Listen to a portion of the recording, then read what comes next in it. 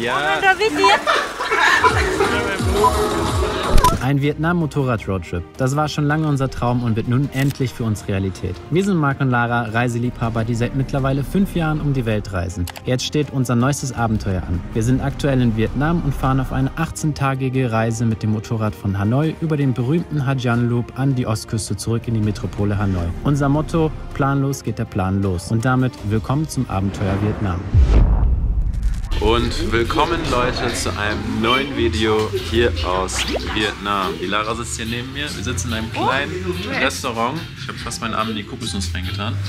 Und wir essen eine Loaded Coconut, was einfach Curry ist, Vegetable Curry in einer Kokosnuss, was ich so noch nie in meinem Leben gesehen habe. Boah, wir hatten gerade den Schock unseres Lebens. Wir haben nämlich das letzte Video, das ihr gesehen habt, hatten wir einige Sequenzen in ultra slow motion gedreht und wir sind dann die, die, das Footage durchgegangen und dachten dann, wir hätten einfach den kompletten Vlog in Slow Motion gefilmt und dann hättet ihr einfach die Hochzeit verpasst und alles andere. Und das war einfach so ein Highlight-Vlog, deswegen hatten wir einen kurzen Ja, Schock. ihr seht die Videos natürlich ein bisschen zeitversetzt, aber wir filmen gerade jeden einzelnen Tag. Ja. Und ja, heute befinden wir uns weiterhin in der Stadt Zappa. Wir haben hier zwei Nächte und die Stadt ist super cool. Sie liegt auf jeden Fall in den Wolken. Es ist hier ständig nebelig. Es ist super busy.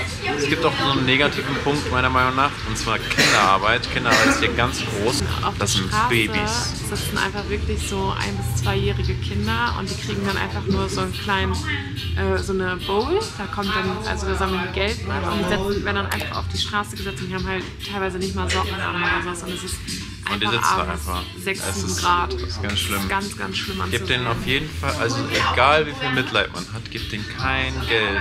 Ja, die Weil das müssen- unterstützt es. Ja. Da sitzen die Eltern und gucken zu. Und weil die wissen, dass die Kinder mehr Geld kriegen. Aber genug Negativität. Sapa hat auch sehr, sehr viele coole Seiten.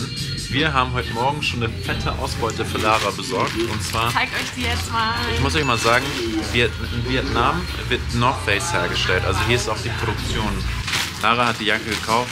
Für 300.000 war es 12 Euro, 13 Euro für so einen North Face Windbreaker, der richtig gut aussieht. Komm, ja, zieh dir mal an. Komm, komm. Jetzt? Ja, machen wir eine kurze Modeshow. Hammer. Hier die Reißverschlüsse. Also darauf müsst ihr euch achten, wenn ihr Sachen in Vietnam kauft, dass die hier gut genäht sind, dass die Reißverschlüsse gut funktionieren. Wir haben jetzt aktuell wirklich nur ein Outfit, in dem wir schlafen, fahren und exploren. Also es Und ihr seht, wir sehen können, es ist richtig kalt, weil Laras Nase ist jetzt schon rot. Die Luft ist so kalt. Wir gehen jetzt noch ein bisschen weiter und schauen uns die Stadt an. Hier kommen die Tee. Das ist ja geil. Da ist einfach Tee drin. Wow. Yes. Everything good? Everything perfect. Ja, es waren 180.000 Dong. So, wir gehen jetzt mal hier rein. Ich hoffe, dass die Kamera nicht negativ beeinflusst, was für einen Preis wir bekommen. Hallo, das ist der Laden, der war direkt neben unserem Restaurant. Lara wollte sich so ein Vlies kaufen. Hat in, hat in Hanoi auf jeden Fall 900, zwischen 700 bis 900 gekostet. Mal schauen, was hier ist. How much is this one? Excuse me. How much is this one? 900?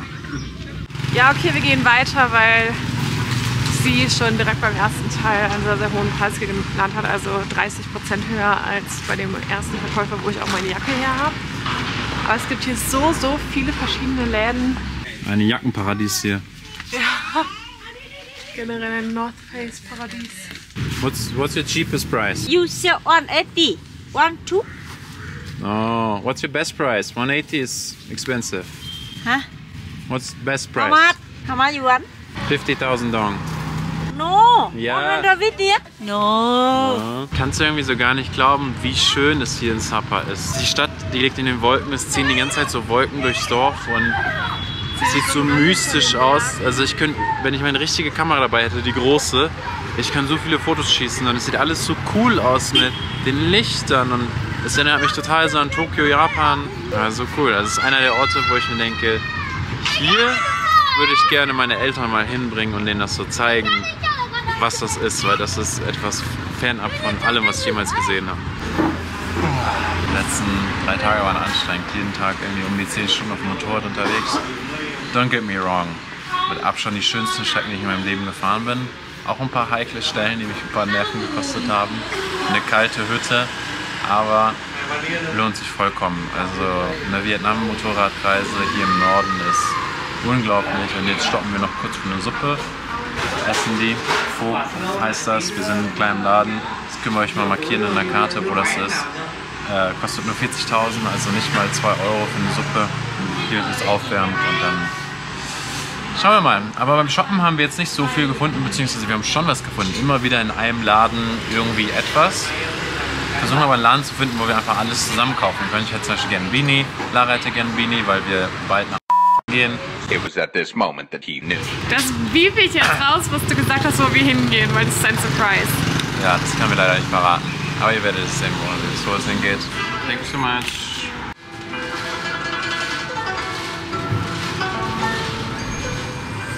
Tag 2 in Zappa und Clara ist wieder unter den Lebenden. Meine Nase ist noch zu, aber Ge- mein Bauch geht wieder gut. Wir sind in so einem kleinen Café. Das nennt sich Café Bao Cup. Und da werden wir uns einen Kaffee trinken. Three hot salt coffee. Coffee. Muoi. Salted. Nong, Nong. Nong, Nong. Übersetz mal. No. Ja, das ist mein erster Salted Coffee ever. Bislang habe ich mich davor gedrückt irgendwie, weil der Coconut Coffee ist so lecker, dass ich mir so dachte, ich riskiere es gar nicht erst. Aber die beiden haben gesagt, dass er so gut ist, deswegen habe ich ihn jetzt bestellt. Ja, also schmeckt schon salzig, schmeckt einfach wie salziger Kaffee mit Milch, würde ich irgendwie sagen. Also ich gebe dem Ganzen so eine 6,5 von 10. Richtig schick. Können wir noch Freunde sein? es ist ein regnerischer dritter Tag in Zappa. Aber wir haben heute Großes vor, denn wir werden heute auf eine Aussichtsplattform hier fahren. Und die liegt tatsächlich so hoch. 3200 Metern in der Höhe. Ja, und da oben... Der höchste Gipfel in Vietnam. Ja, und das ist tatsächlich sogar die höchste Stelle in Indochina. Stimmt. Ja. Und wir werden mit einer Seilbahn fahren, mit einem Zug und es wird ein Und sehr, sehr großes. Abenteuer. Und jetzt gehen wir erst mal was frühstücken und in die Stadt, denn wir wollen uns noch ein bisschen ausstatten mit warmen Socken für die Fahrt nach oben. Na, was sagst du zum Wetter, Clara? Ich hasse das Wetter. Es ist so kalt. Wieder Sommer, Sonne. Mudi Clara, Mudi mag. Regen ist nicht deren Ding, glaube ich. Es ist kalt drin. Es ist überall kalt. Es ist hier kalt, die heizen nicht. Alter, warum? Die laufen lieber in Jacken rum, als zu heizen. Ist nicht unmenschlich. Nicht? Sparsam. Einen kleinen Faux, einen kleinen Tee. Und dann geht's gleich nochmal kurz shoppen mit den beiden. Die brauchen dicke Sachen. Und dann geht's auf die Bergspitze schauen. Genau so ist es. Kalt. Ja. We want to change address. Clara und Jonathan empfangen ein Päckchen. Eigentlich hier in Sapa und es hätte eigentlich schon längst da sein sollen. Aber es wurde halt vom Zoll aufgehalten, weil es au- außerhalb von Vietnam hier reinkam. Jetzt ist es ziemlich schwer, ja, weiterzureisen und gleichzeitig das Päckchen zu empfangen. Jetzt versuchen wir quasi eine Umleitung einzurichten, damit das Päckchen weitergeschickt wird an den nächsten Ort, wo wir hinkommen. Mal, mal hoffen wir mal, ob das klappt, aber wenn keiner Englisch spricht, ist das äußerst schwierig, das umzusetzen. Aber wir drücken denen den Daumen, dass sie noch ihr Päckchen bekommen während der Reise. Wir befinden uns normal in dem gleichen Laden wie vorher. Claras eine Jacke ist ziemlich im Arsch, deswegen braucht sie auch noch Ersatz. Jonathan hat mir gesagt, ich soll mir bitte unbedingt eine neue kaufen. Er kann es nicht mehr sehen. Beim Video-Edit zoome ich teilweise 50% ran, damit man diese Jacke, die hier auseinanderfällt, bei Clara nicht mehr sieht. Ich will doch nur eine schöne Jacke. Was soll denn das? Wir wollen doch nur eine schöne Jacke. Ich habe eine Fließjacke gefunden, die ich gut finde, aber ich weiß einfach nicht, ob das Sinn macht, jetzt noch eine Fließjacke. Zieh, zieh mal an, zeig mal. Okay. Die Leute können mal unten reinschreiben, ob es ihnen gefällt oder nicht. Bitte hatet mich nicht. Ich finde, die sieht gut aus. Was meinst du, was sie dafür wollen? 10 Euro. Zehner? Aber die sieht echt gut aus. Also, wenn man nicht mal aus der Ferne so betrachtet, die passt von der Größe. Halt da drüber die weiße North Face Jacke, die du jetzt auch neu hast. Ja. Aktuell ist es so, man könnte die hier anziehen, dann könnte man darüber meine neue weiße North Face Jacke anziehen und dann darüber noch eine Jacke, weil es einfach nur kalt ist. Ja, vor allem wenn wir gleich auf die Spitze gehen. der S. Oh, die Oh, schon viel besser. Jonathan auch in weiß? Boah, Aber ich nice. habe gerade die gefunden. Ich mag die Farbe richtig, diese hier. Ich finde die auch Dieses nice. beige. Sagt mal Bescheid oder schreibt mal in die Kommentare, wenn ihr einen Haul von uns haben wollt mit all den Sachen, die wir uns hier in Vietnam gekauft haben. Ich will das direkt in diesem Video. Machen wir den Dance-Off-Haul. So.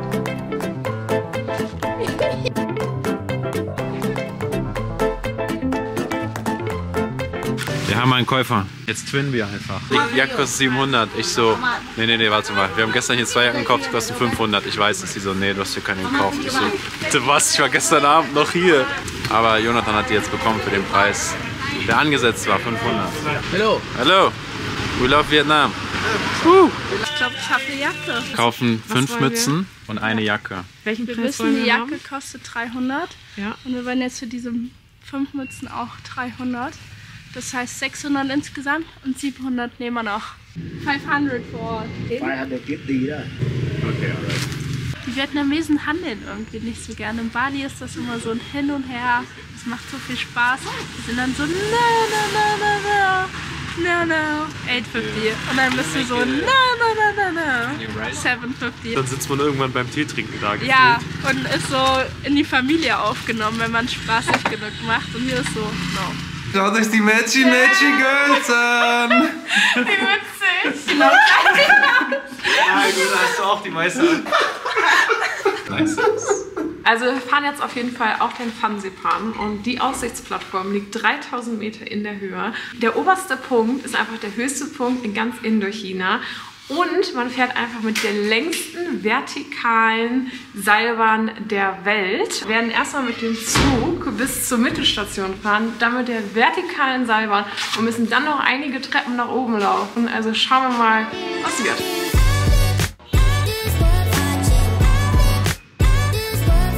Wir haben jetzt die Tickets gekauft, die haben 73,70 Euro gekostet nach Umrechnung. Die haben gesagt, die Wetterkonditionen sind nicht allzu gut, es ist nebelig und nieselig, aber ja, solche Attraktionen kann man einfach nicht auslassen, wenn man an so einem Ort ist und morgen abreist. Wir da drüben sind am Ausrechnen oder am Übersetzen, weil auf dem Ticket gibt es Freebies, das heißt, man kriegt irgendwie kostenlosen Kaffee. Und was bekommt man umsonst?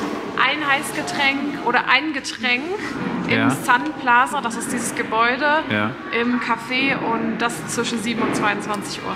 Aber da sind bestimmt Cocktails auch dabei. Oh Leute, ich bin so aufgeregt, ich habe richtig Lust, weil wir gar nicht wissen, was uns erwartet irgendwie, aber wir sind so mega aufgeregt, dass es als ob man in so einen Freizeitpark gehen würde.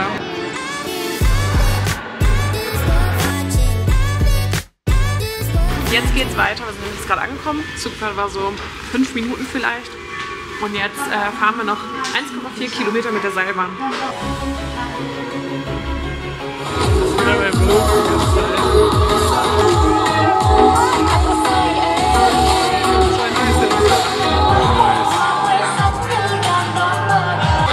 nach, ähm, was ist Beans auf Deutsch? Übel geil! Also hier ist ein kleines Dörfchen auf der Höhe der Zugstation und wir sind jetzt hier ein bisschen umhergelaufen. Es gibt super viele Möglichkeiten, Fotos zu machen und es ist natürlich ein sehr, sehr, sehr ähm, touristisches Dörfchen, in dem man kleine Souvenirs und so weiter kaufen kann. Und für uns geht es jetzt weiter. Wir versuchen nämlich jetzt die Station zu finden für die Seilbahn. Das sind die ganzen hohen Berge, die da noch hinter sind. Und da fahren wir jetzt dann mit der Seilbahn. Let's go! Ich bin jetzt richtig nervös irgendwie. Also wir sind jetzt hier mit acht Leuten drin und ich glaube, hier passen so 30 Leute rein. Also eigentlich voll gut, dass wir so wenige hier drin sind. Oh, geht Also das ist einfach richtig heftig.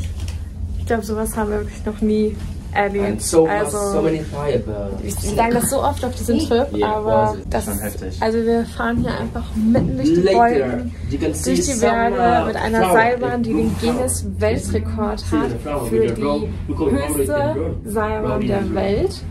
Und das ist einfach so krass. Yeah, the flower below that road. Ja, wow, wir sind angekommen. Man sah nicht mal die Gondelstation. Es ist, wir sehen so krass in den Wolken. Ich hoffe, wenn wir gleich die Treppen noch hochlaufen, es geht ja 30 Minuten hoch, dass wir dann über der Wolke sind. Aber schauen wir mal. Es war schon spektakulär und dann auf einmal nichts mehr gesehen. Wir sind jetzt hier oben angekommen, haben uns da eben eine zweite Jacke übergeworfen. Und es geht, wie ihr sehen könnt, extrem steil nach oben über eine Treppe. Man muss halt noch circa 30 Minuten laufen, bis nach ganz oben. Puh.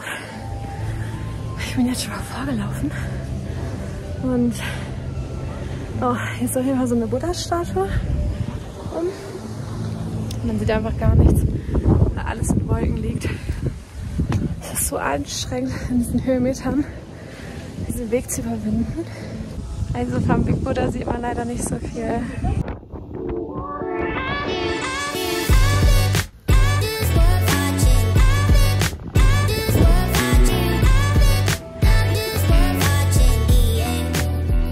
Geschafft, Leute. Wir sind auf der Spitze, auf der höchsten Spitze in Vietnam mit einer vietnamesischen Flagge oder der Flagge von Vietnam. Äußerst cooler Moment, aber leider komplett zugezogen. Also wir sehen jetzt nicht die ganzen anderen hohen Berge hier in Indigo. Wir können leider nicht nach China rüber gucken, aber es ist trotzdem ein cooler Moment. Jetzt geht's wieder zurück runter. Wo bist du? Marc! Marc!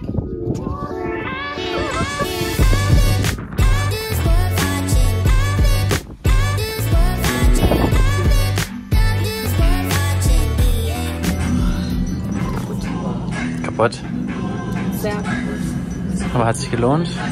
Das hat sich gelohnt. Wir haben so einen Hunger. Das ist unglaublich. Wir hatten heute Morgen das Frühstück. Und jetzt gehen wir das erste Mal Hotpot essen. Die beiden sagen, das ist der Shit, den man essen soll in Asien. Deswegen probieren wir das mal aus. Darf man Shit sagen auf YouTube? Lara das erste Egg Coffee. Boah, schau dich das mal an. Das ist wie Pudding eigentlich, ne? Es ist sehr wenig Kaffee und dann ist oben drauf so ein richtig fetter Schaum, Pudding-mäßig. Oh, mit dem Kaffeegemisch schmeckt's gut. Mhm. Mit dem Kaffeegemisch schmeckt es irgendwie auch süßer. Nee, ist ganz gut. Ich würde dem Ganzen ähm, 7,5 von 10 geben. Aber schmeckt überhaupt nicht nach Ei. Ist es gut oder schlecht? 7,5 von 10? Nee, das ist nicht nach Ei schmeckt. Ist gut. Du hast es so gesagt, das wäre schlecht.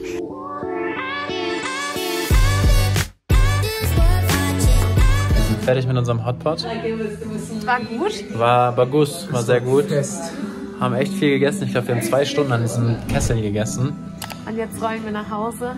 Das hat Spaß gemacht. Wir waren insgesamt drei Tage hier. Genau.